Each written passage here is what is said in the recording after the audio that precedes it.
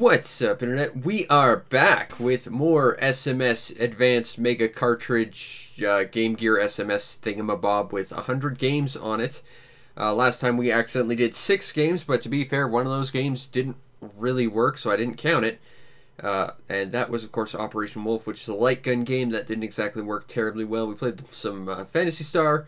Now we get to play Power Strike, and I'm a big fan of this because this is a Compile shooter. And I am a big fan of uh, their Genesis work in Musha, so I'm hoping this is going to be kind of similar. I'm also familiar with uh, Zanac, uh, Gunac, and uh, Blazing Lasers. I'm not good at these games, but I love them. I think Musha is like the best shmup ever, though. So if we could get more Musha, that would be good. I who owns the rights to Compile now? I uh, part of me to say it's Sega, but I'm not sure that's the case. Okay, so that's what that gun is. That's the Wave Beam, apparently.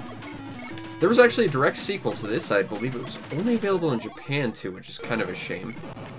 Whoa, that's some slowdown. What we got? We got number four. Number four is Shield Powers. That's some sound effects I recognize from, what was it, uh, Guardian Legend. But it's, uh, of course, it's all the same people. And uh, what you're getting here is a relatively fast shooter. I'm not super good at it. I think it's it's not like Don Danmaku or anything. It's not like overly complicated. Got lots of room to avoid things, but I'm I'm just awful at shooters. But I love them. It does have like the power-up collection that I'm familiar with from Musha, where you collect all these little pill things that ultimately give you better power-ups and like upgrade your current ones. Or in Musha's case, give you like controllable, um, I want to say bits, but uh, options watching too much Gundam, but you can never watch too much Gundam. No, I wanted item number one. I guess I can just shoot them, though. It's it's not like this is TwinBee or anything. Okay, that's a charge shot. I kind of like that in the sense that it lets me protect my front, but I don't like it so much. That wave beam isn't too bad. That actually covers quite a fair distance. I think so far the wave beam is the winner of best weapon in uh, in this one. I think 4 was the shield. I'm not sure you get power-ups by grabbing the same number twice. Doesn't look like it. Also, I don't like this gun.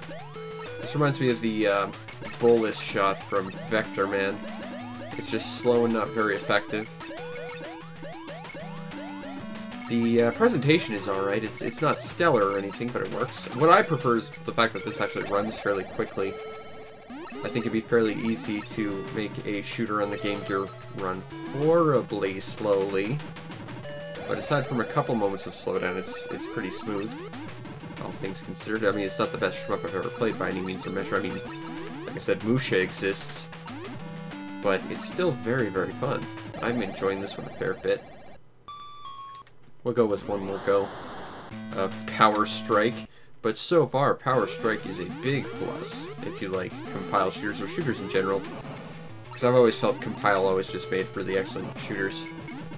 Aha, so you can upgrade your weapon by grabbing multiples of the same number. Okay, that's worth knowing. Unfortunately, shooting them off screen erases them, which is kind of a problem. It's not, uh, we're not running by TwinBee logic here, where you can actively... I really want to see what the powered up number four is. I want the better shield, but I'm not getting it. Alas, we're gonna have to keep our eyes up for number four before I die, which is probably going to be any moment now. Well, at least we kind of have a shield. Whoa! I do appreciate that the shield actually like erases shots. Unfortunately, there it goes. The music's not too bad. Okay. Ah, there it is. Still, fun, fun, fun. Next is Prince of Persia. Is one of those old cinematic platformers. I'm not super great with these, but uh, this is a fun one. What's interesting is this was a game that gave you a time limit to play. Like, you had to beat this game in 60 minutes, and if you failed, it was... You could theoretically beat the game, but you'd lose. It would send you kind of into a failure state, if I recall. There we go. That's my password. I have 60 minutes left. The animation's pretty fluid. I mean, in the original Prince of Persia, that was very much the case as well. Okay, now if I recall, you have to... Okay. Okay, now I need to take out my sword, which is... I don't know how to do that. That's a problem. Unless that was the... I don't know how to play this, evidently. Alright, there we go. Unless I died and got to... I don't understand what just happened. Like, I... Okay. So that's that. How do I... I know when we run into a fight, we need to take out our weapon. How do I do that? Okay, so yes, that was just me dying. I don't know how to grab our weapon. That's going to present issues.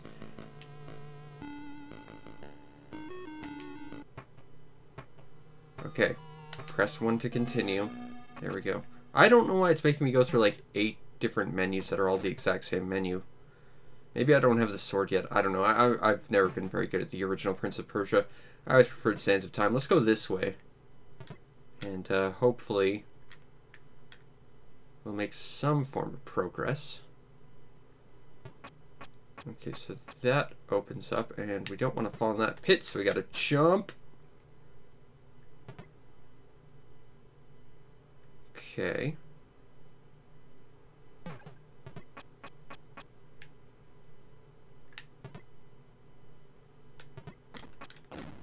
And now I'm dead. Welcome to Prince of Persia, the game where you die a whole bunch very easily because you're a very fragile person. Okay, let's go. Now I think you only get a password after completing a level, so we're probably not going to see anyone. Whoops. Okay, well that we managed to survive a fall from. I was always more a fan of Another World myself. Okay, so which one's the jump button? I think it's A on this controller. Nope.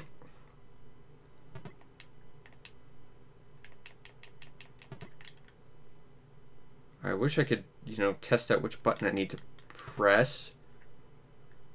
Oh, it's up, isn't it? Okay, that's... Okay.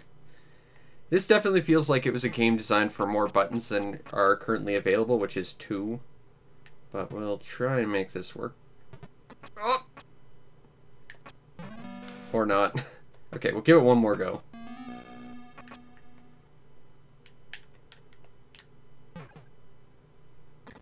Okay, so that fell.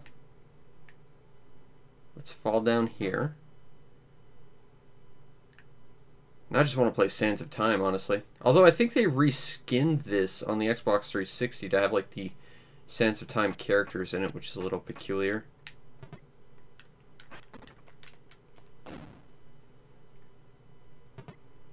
Uh, especially considering that most versions of Sands of Time actually featured this game in it. Except for the HD versions, which again, kind of peculiar. Yeah, I'm not jumping. I don't know why I can't do that. Uh, for some reason it's not working with the up button. But uh, Prince of Persia, that seems like a fairly uh, accurate representation of it. I'm just not very good at it. And it could use more controller buttons than just two. Next we have Psycho Fox. Now, if you're familiar with the NES library, you might actually kind of be familiar with this game. This game was... I, I believe it was a sequel to this, or, or this was the sequel, but it was uh, related to Kid Kool, which was not a very good game, honestly. But this is kind of like the version of Kid Kool on the SMS.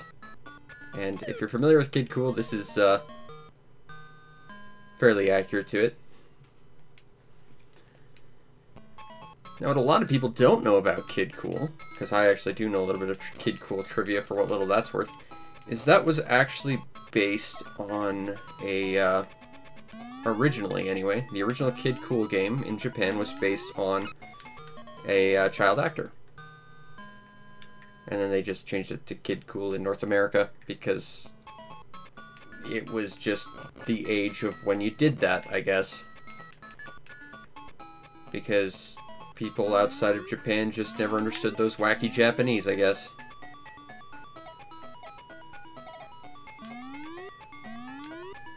Now, if you've ever played Kid Kool, you'd also understand that this is fairly accurate to it in that it's ungodly difficult. However, unlike Kid Kool, there does not appear to be a uh, timer, which is good. Because playing an almost unplayable game with a timer is hard. Also, we should have gotten that little uh, springy thing that was sticking out of the ground, because you can get unlimited lives that way. If the game follows the programming of Kid Kool, anyway.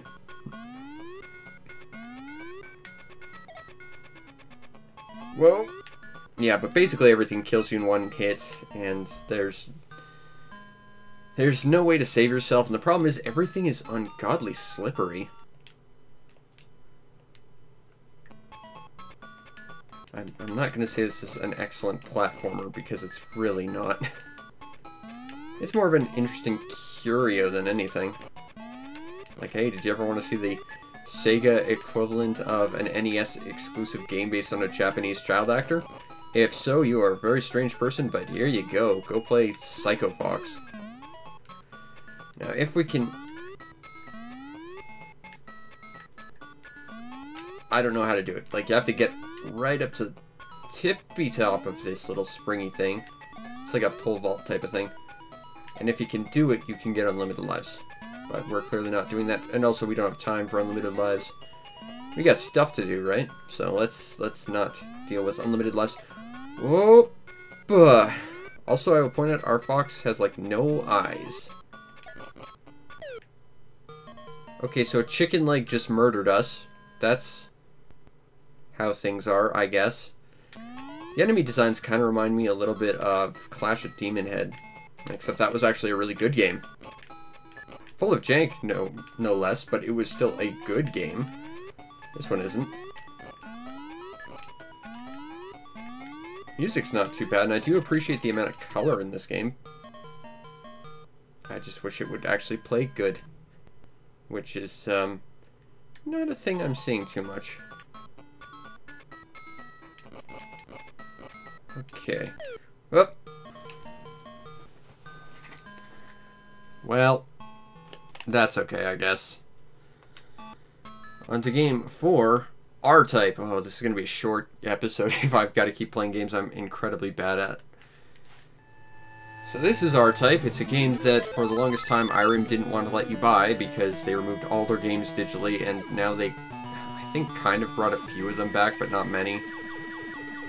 Because Irem just decided to pull out of the game-making business and want to completely erase their digital footprint. And that's depressing because Irem made a lot of really cool things, including the best PS2 game of all time, Steambot Chronicles, which was my third, fourth, my, my fourth or fifth review. Back when I couldn't have a video longer than 10 minutes, so I had to break it into two parts. Go watch that review. I, am quite proud of that, even though it was a very early work, and I wish I could erase everything I've ever done, because the moment I put it out, I immediately think, oh, that's bad. but I'm just self-conscious like that. But I do quite like Steambot Chronicles, and if nothing else, I let people know that that game exists, which is, in and of itself, something I'm rather proud of, because that game needs more recognition, even if you can't get it anymore. Which, seriously, there needs to be more Steambot Chronicle games. There's supposed to be another one, but uh, alas, that game never came out. There was a sequel on the PSP that um, I've been told is not very good. I wouldn't know, I can't get it because, like I said, I took down their entire digital footprint. And there was a Steambot Chronicles Blokus skin for some reason. Which is one of the stranger things I've heard. But uh, yeah, this is this is basically just R-Type on the Game Gear. I'm not gonna say this is the version of R-Type you need to play, but it is a version of R-Type you could play. And it's one that uh, Irem cannot have disappear off face of the Earth because it already exists and it only exists in physical. And my throat is sealing up, so I need some water. You know, the, the energy forming effect from that charge shot reminds me a lot of Battletoads on the Game Boy, which, you know, going back to the previous episodes, I am not good at Battletoads on the Game Boy. And that game gives me absolute nightmares, but I was stuck on the level with uh, the shooter sections, which was level 2 for the longest time. Like, years. And then I beat it, and then I got completely curb stomped by, like, level 3. Okay, let's shoot some stuff. As my cat decides to make a whole bunch of noise in the background. I don't think having my option actually attached to my butt acts as any sort of shield and is basically worthless for it being there. But I'm not a master of R-Type or shooters in general. I'm more of a Thunder Force person, honestly. And even then, it's um, not great. rather, I'm not great. Thunder Force is excellent, though. I quite like Thunder Force. I'd like to get more Thunder Force games, but I only have the the second one on the Genesis as well as the uh, weird Super Nintendo one. That was like a bad port of one that you could get on the arcade or Genesis, and it would be much better to do so. Poop. My cat is just so, so determined to make as much noise as possible. You know, that's that's the thing about cats. You can ask them to be quiet, and they'll make it seem like they understand. And then they'll just make a lot of noise to spite you, because that's just cats. I think this will continue from the start of the level, which... Oh, no, they'll continue from here, so we'll continue. Okay. We got an M. Missiles! That's what M stands for. Cool. I'm not gonna lie, I have never actually played an R-Type game outside of this one. I really want to get R-Type Final on the PS2. I, I was to get a digital version, but again, that no longer exists. Thanks, Irem. I shouldn't be so bitter, but seriously, they deleted their entire digital library. That's so nonsense right there. Well, to be fair, that does go back to my whole complaint about digital purchases and how you're not really owning anything anymore. I, I don't like the way the landscape of selling games has sort of evolved, or devolved as it is. You're just not allowed to have things that you pay for anymore, which feels very, very illegal, honestly.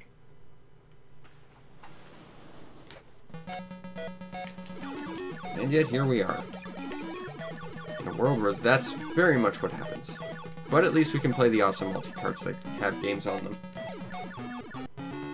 And we get to discover all sorts of new crazy stuff that we might not have otherwise tried, including stuff that's only available through stuff like this. And that's always a plus. That's part of why I love this sort of stuff. Like, it's definitely a different kind of experience in gaming. Like, yes, you could go out and buy every single game individually, and you probably get most of the same experience, but it's really a different thing on a multi-cart, honestly. Alright, well, we're, we're bad at R-Type. This episode's going to be short. I apologize. We're going on to the final one, Rainbow Islands by Taito. This is the story of Bubble Bobble 2, not to be confused with Bubble Bobble 2, or the fact that there's a Bubble Bobble 3 and a story of Bubble Bobble 3, because that's not convoluted at all. But, um, this is one of those old Taito games that's just bullshit. so I'm going to try and explain this game as best I can. Um, Big diamonds. So you need to collect big diamonds by collecting all the little diamonds in a level. And we're going to do that by dropping that on that guy. And then where he lands, that changes into one color of diamond. You need to pick up seven different colored diamonds that are completely denoted by where they land. And if you drop a rainbow on them. Like, the overarching goal is to get those diamonds. Because you can just get to the end by, like, just building up like this, but you won't actually be able to beat the game unless you actually get all the little diamonds to get the big diamonds. Which makes this kind of awkward, because of course, what you get out of the little diamonds is entirely dependent on how far the enemy chooses to fly to become a thing. Which is not fun at all. And if you thought that was bullshit, well, just you wait. Because it, it gets bullshittier, so to speak. Um, there's a boss that is entirely invisible unless you pick up a power-up in one level. That is fairly easy to miss from what I remember. So that's great. Uh, on the bright side, you can beat this game without having a second player installed. That's that's like the one Godsend is this is actually designed to be playable by one person alone. But uh, Taito, come on, make your make your arcade games not stupid. that would be great. See, we got Ain right there. That's because that's supposed to each letter is supposed to correspond to a color of gem we got. It's supposed to spell rainbow. And if you spell rainbow, that means you got all the rainbow gems. So we got green, but we already had green, so we're not getting anything from that. Uh, something else I'd like to talk about here, if we may, is that I don't know if this is related at all to the way the NES port of this was handled, but the way the NES was handled was weird because the Famicom version used the music from the arcade version. Of course, it was downgraded, but uh, which used a rendition of Somewhere Over the Rainbow. You know, it makes sense, seeing as you're riding on rainbows and it's called Rainbow Islands. Well, the North American version, I guess, couldn't get the license to that, so they got a a song that shared bits of the melody, but not much. And this sounds honestly a little bit different from that version, but it's certainly not the original Rainbow Islands song. So this isn't even really a great part of it.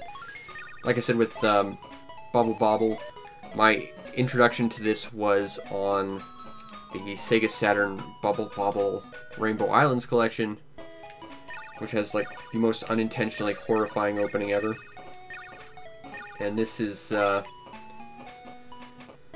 Well, this version doesn't have that. That said, I think out of the two, growing up, I think I preferred Rainbow Islands to Bubble Bobble, because I found Bubble Bobble to be too hard, but I like both of them.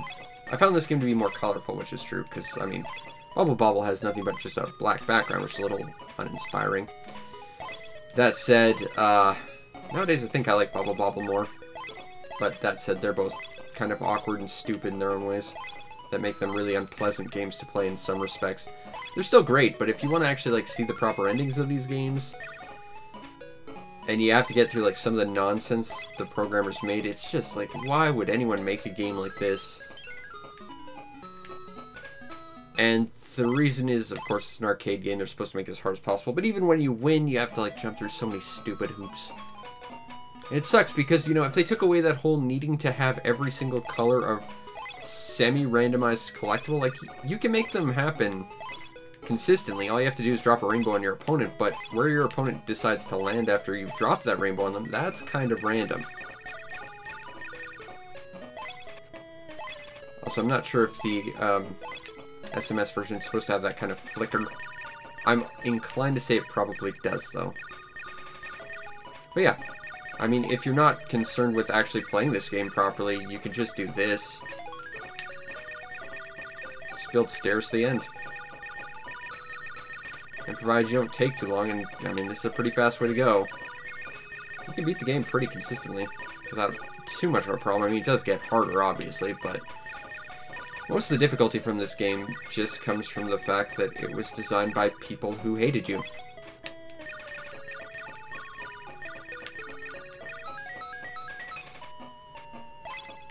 Oh, hey, we actually got a different color. There's an item that lets you uh, turn everything into diamonds as well, but it's kind of somewhat randomized.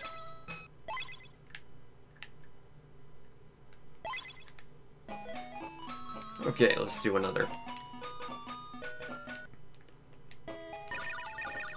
Go, go, go, go, go. Come on, Bubby. Or are you Bobby? I can't remember, and I don't really care. I never understood why Taito, with the Bubble Bobble series, decided every game needs to be like a number in the Bubble Bobble, like, Odyssey, but then also has to have like a different game to explain the story that explains nothing but is legally distinct from the game that shares the exact same number.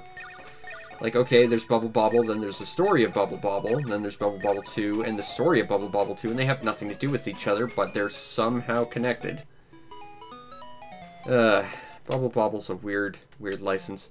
Anyway, this has been another episode of I Can Definitely Count to Five Properly. I mean, if you watch my my game loop, my uh, game uh, collection videos, I, I, you can tell I have trouble alphabetizing unintentionally, but I can numbers properly sometimes when it's not 6 a.m. Uh, anyway, based on these past five, would I recommend the game? Well, Power Strike alone is pretty kick-ass. Prince of Persia is a faithful rendition, but you can get better versions pretty much anywhere.